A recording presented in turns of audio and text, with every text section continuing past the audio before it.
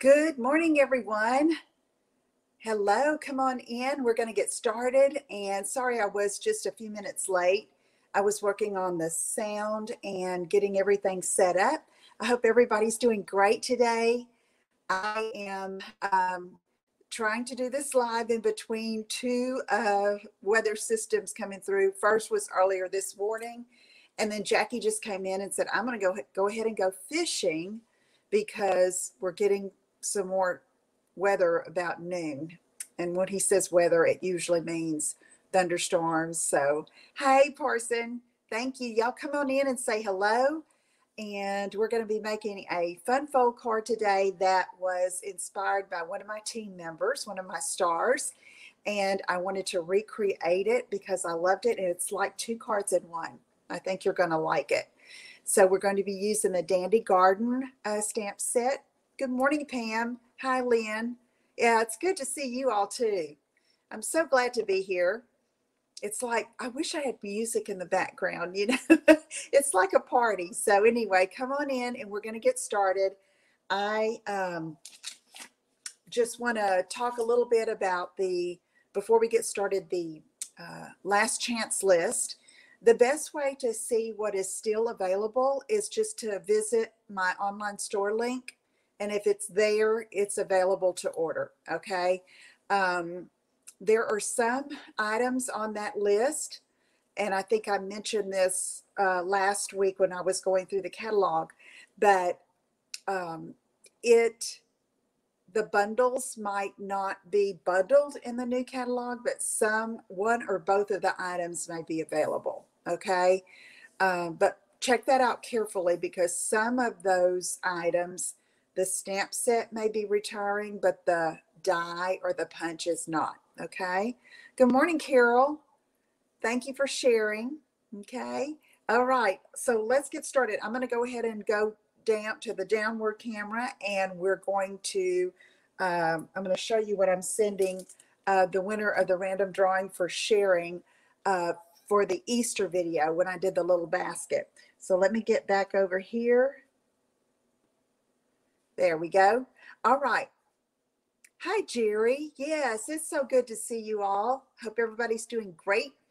Um, okay, so when I did the Easter basket and Easter card video, that was, I think, March 17th, um, I did a drawing and Melinda Guy shared my video and she is getting these two cards uh, that I made with the circle celebration set. Okay. All right. So Melinda, I'll be sending those to you. And so now let's get going. I'm going to show you how to cut the base for the cardstock for this particular one because, uh, you know, we're so used to cutting five and a half by eight and a half or four and a quarter by 11 that I speak from experience. I don't want you to cut it wrong to start with. Okay. So the base of this card, of the one of the cards in this little fun fold two and one, uh, it's cut 10 by five and a half. So, you know, you see that five and a half and you want to turn it and cut five and a half, but oh no, this is just eight and a half inches wide. Okay. So we need to cut the 11 inches down to 10, which is this long side. Okay, so we need to cut one inch off. So let me just slip that in there and do this, and then you'll be ready to go. So consequently, you will only get one card base out of one eight and a half by 11 card stock. Hey, Kathy. So I could cut an inch off. Okay, so now it's 10 inches. All right. Let me get my light situated here a little bit better anyway. Seems to be a, glare, but we're going to try to fix that. There we go. All right. So now we want to, that's 10 inches. So now we want to cut this five and one half this way. Okay. So don't see that five and a half and just want to chop it in half. Okay. Do it like this. And now you have five and a half and let me double check that because this morning I cut my first one at five and a quarter by 10. Okay, so now let's do some scoring. I'm going to put this, this is Blackberry Bliss, by the way. I'm using the Dandy Garden 6x6 Designer Series paper. And let's see, get my Simply Scored over here. And we're going to do some simple scoring. It's not a difficult card or a difficult fold, but there are lots of uh, pieces and um, there's an order to do things in. And I'll show you, you'll understand what I mean by that in just a few minutes. Okay, so there's my 10 by five and a half. And I'm going to score it at four and one quarter and eight and one half. Okay, now I'm gonna move the scoring tool out of the way. And then I'm just going to fold this over and fold this over like this, okay? So that's one of the, the fun folds. It's different. And I know it looks a lot like some we've done before. But you know, that's what's great about card design is that you can take the same recipe, so to speak, and every time you recreate it using different papers or stamp sets or add a little bit to it, it's totally different. Okay. So I've had a lot of um, people inquire lately about choosing designer papers to go with a project. And I'll have to say, with mine, uh, I usually take my cues from the designer paper. Okay. And that's what I've done today because I've used quite a few of the colors that are in this Dandy Garden paper. All right. So now I have that done. I'm going to go ahead and work on this part of the card.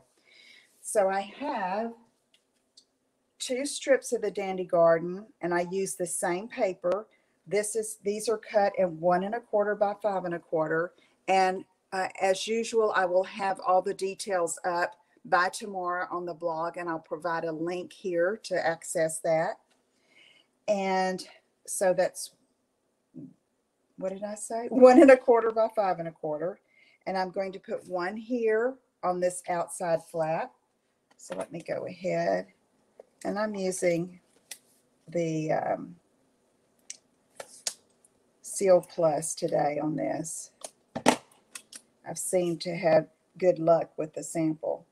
Okay, so see, here's this Mossy Meadow print with the great um, Blackberry Bliss. And normally I think, oh, you know, how does that go? Well, the designer paper combined these. So I trust the Stampin' Up! artists that put all of these uh, papers together. And then I'm going to take this one, which has Bumblebee, okay, another one of the colors in that designer paper stack. And I'm just going to put that on the inside of that flap. Okay, just like that, okay? So now we've got those ready and it's going to overlap like that. Now I want to put my, what I call my highlight for my designer paper here. And I chose, um, wanted to really use the uh, dragonflies.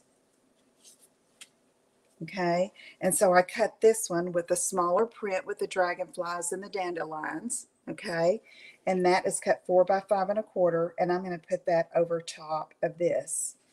Now, Speaking of dragonflies, how many of you called those or call those mosquito hawks?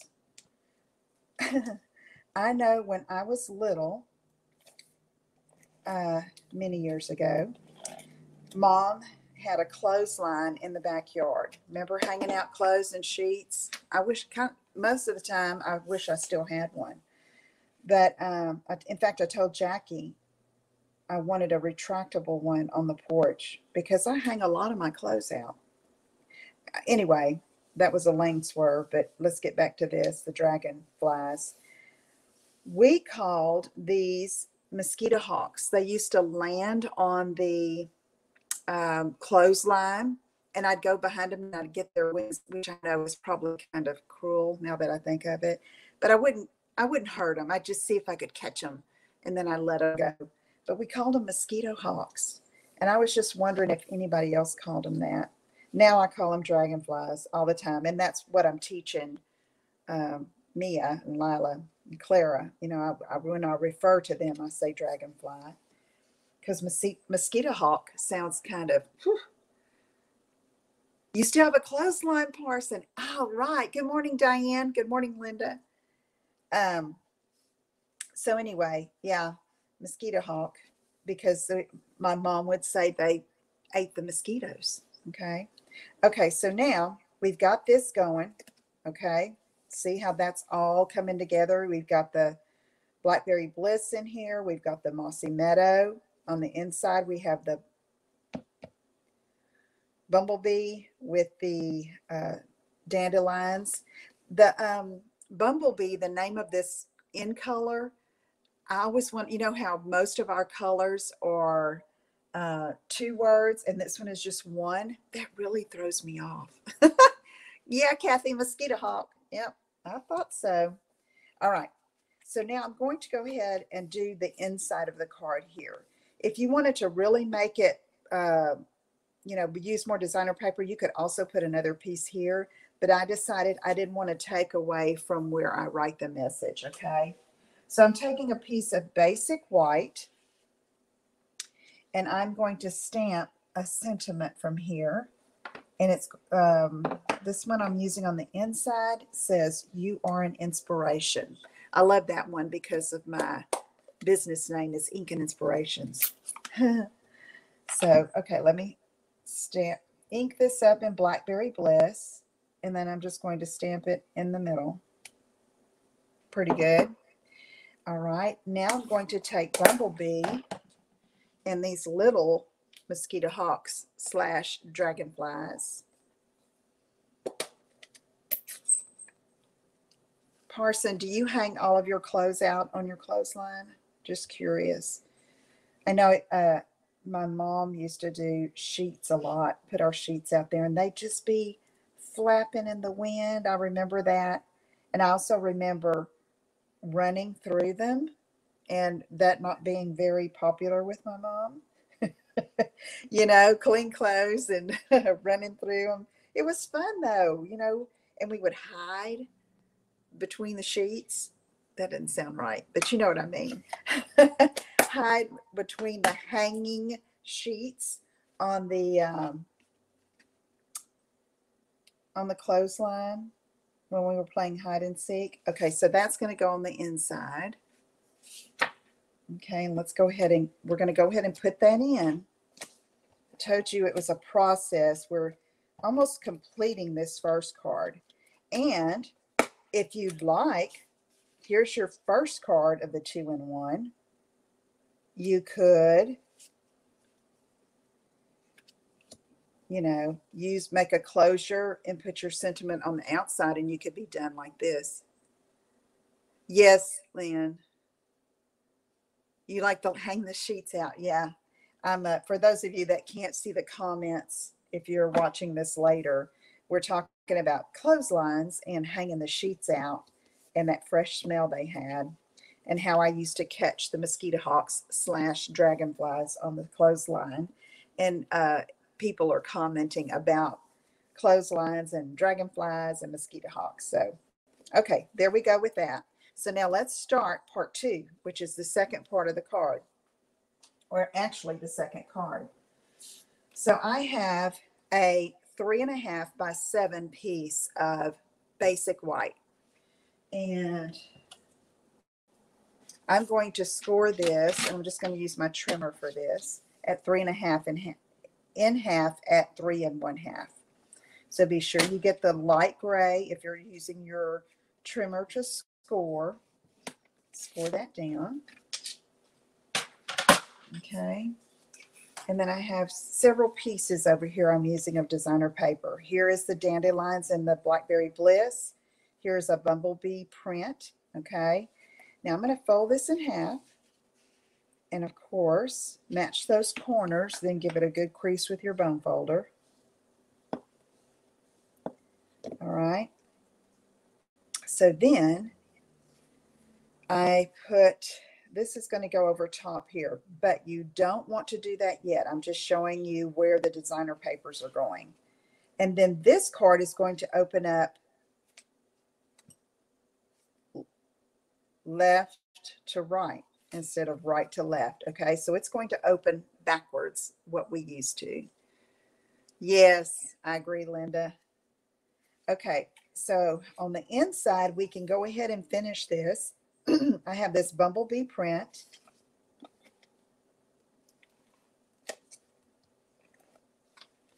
And I'm using some Stampin' Seal Plus. And I'm just going to put that, this is the card inside.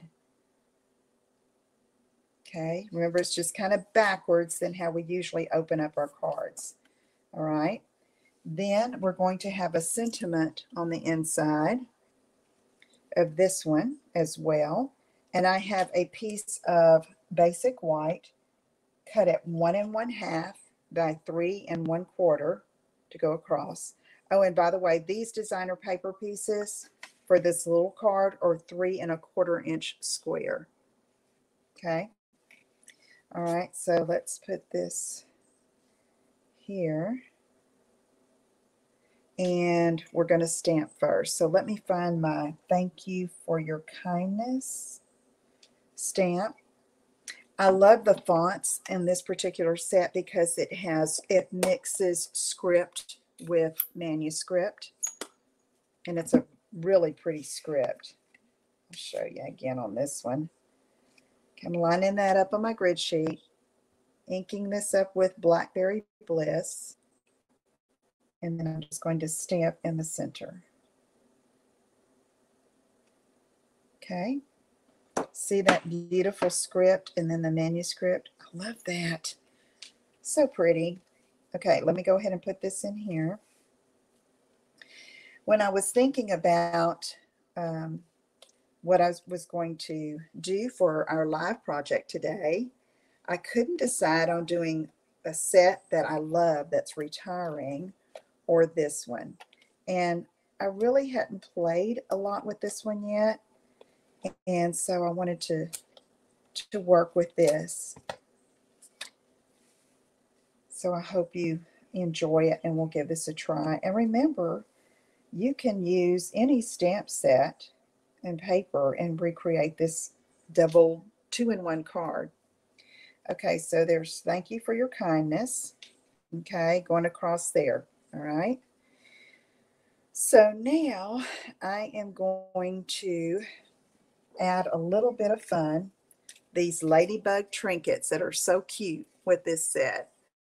Okay, and I'm going to put one right here. And these, the glue dots, mini glue dots work great for this. And whenever I'm working on a project, I go ahead and just stick them on the roll so I don't lose them or, you know, it's already good and the glue dot is good and stuck. Okay, so this one I'm going to put right up here. Isn't that fun? Okay.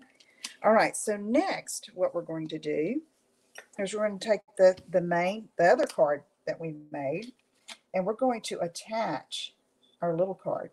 Okay, so let me do this. You're going to line the edge, the folded edge of the basic white card up with the folded edge of this front Blackberry Bliss. Okay, and so I'm just eyeballing there so I know where to put my adhesive. So I'm just going to come down with some strips of this adhesive to hold this little three and a half inch square card on onto the front of the base. So let's see, I've gotta get on my tiptoes and try to line that up. That's close. All right. So now we have that. Okay. So now we're going to work with building up this. Okay. This is going to go on the front here, but we want to do all of our embellishment on that first. It's just the easiest way to do it. And for this particular project, I decided to punch my dragonfly slash mosquito hawk uh, out. And I'm using this bumblebee one. Great little punch here.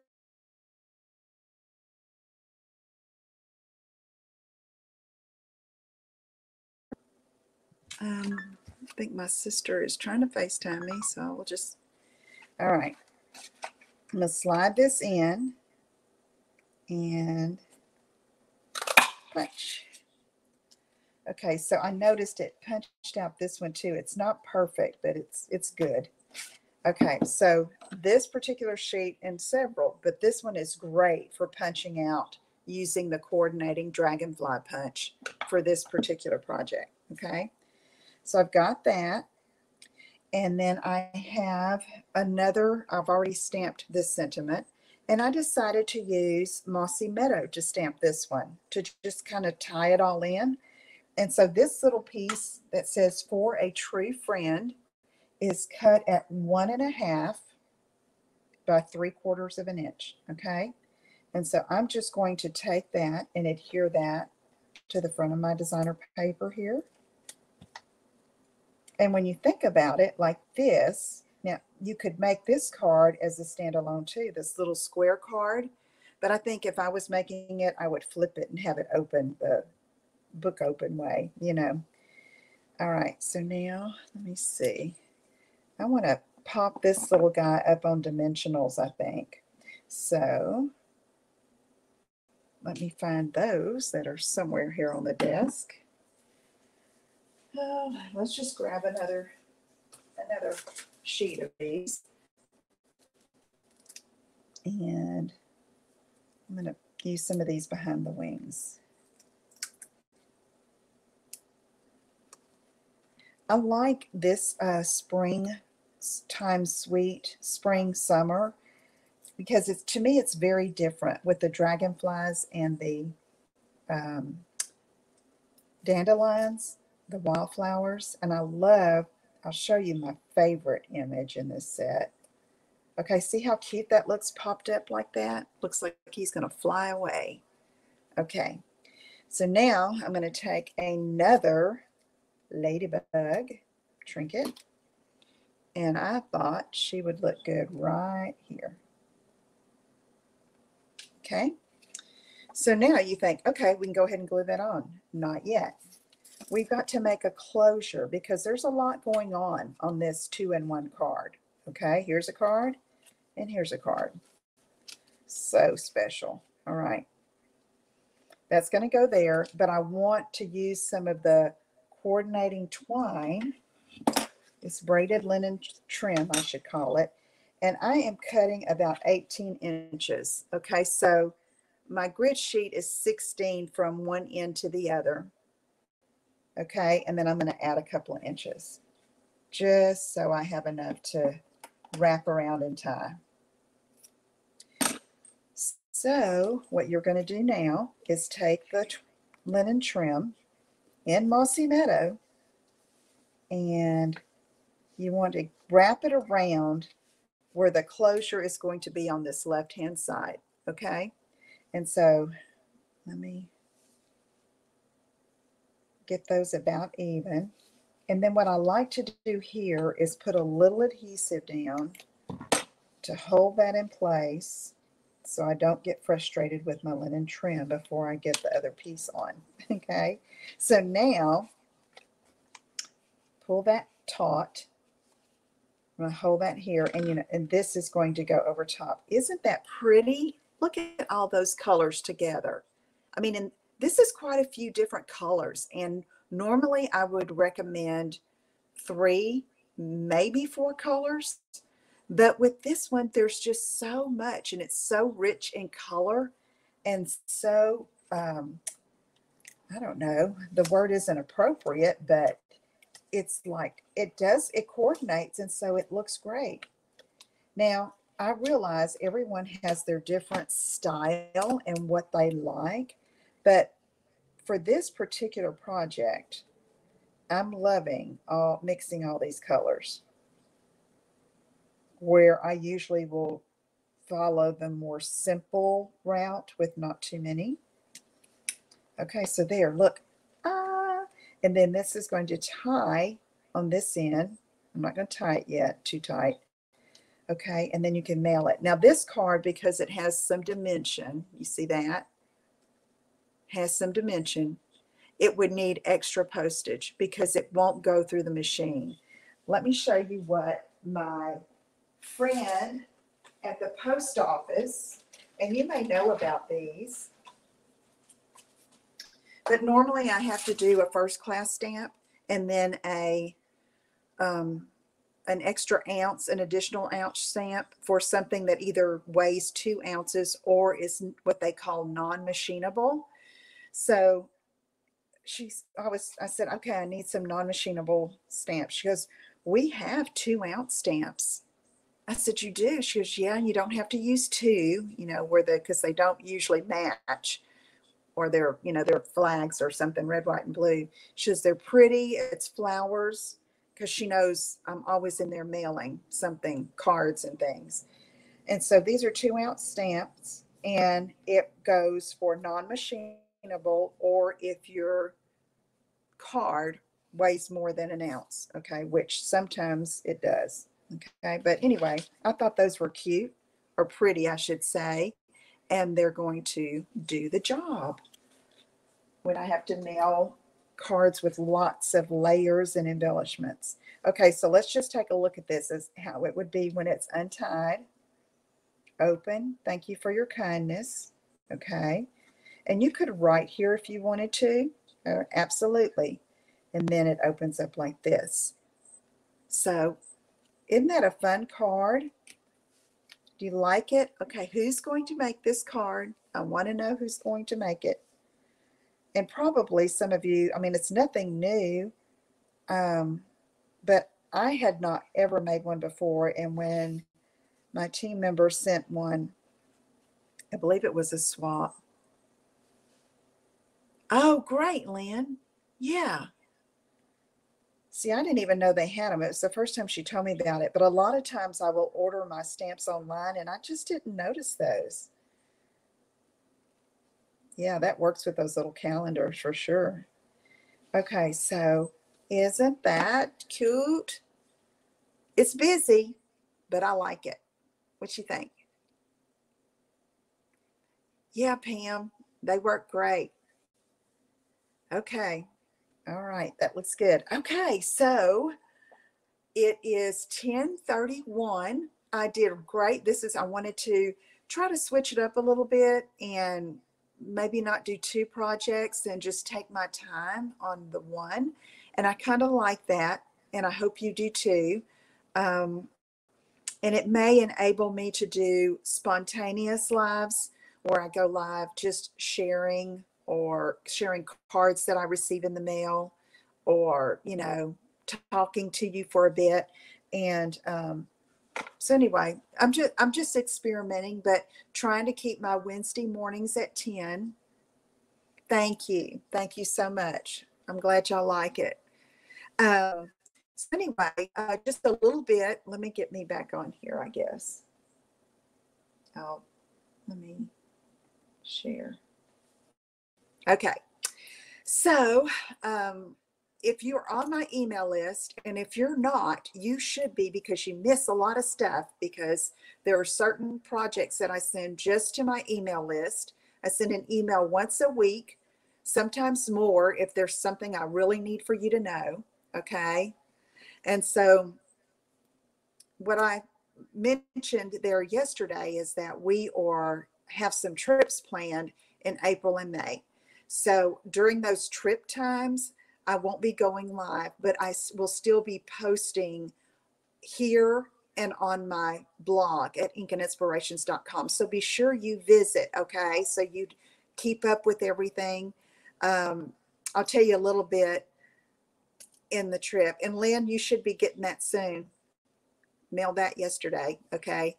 Um, Kristen and John and Mia, that's our oldest daughter's family, and Jackie and I are going on a road trip to southern Utah and visiting those national parks in there. We're going to Zion, Capitol Reef, Canyonlands, Arches, and Bryce, and then um, Mesa Verde. And at Mesa Verde, we're going to see that. But we have Mia and we have Honey who can't do everything strenuous. So um, we are going to do uh, the train the Durango train is not running yet, not till May, but there's another one that starts a little farther north. If any of you have ever ridden that train to, from Durango to Silverton, we'll still see the scenic route and all that. And we are so excited. Never been that way. Super excited. So you'll be seeing pictures of that, I'm sure. And then we'll be back and, you know, we'll go to Texas and leave from there. We'll be back and, um, then in about 10 days after that um, is our by Stampin' Up incentive trip to maui oh we're so excited about that too so anyway i will be um, sharing some information on that before we leave about maybe some kind of a special or something so be on the lookout for that and um, anyway two trips pretty close together, two and a half to three weeks. So it's like I'm working like overtime trying to get things ready for you guys so you don't miss anything and you're just seeing everything I have to share. Okay. So thank you so much. Okay. I'm going to let you go. Uh, Jackie will be back in a minute and we'll have lunch. And then I'm going to do some more crafting today. So I hope you had a a wonderful morning here with on Craft and Chat with me. And thanks for tuning in. Thank you if you watch the replay, and I'll see you all again soon. Take care. Bye.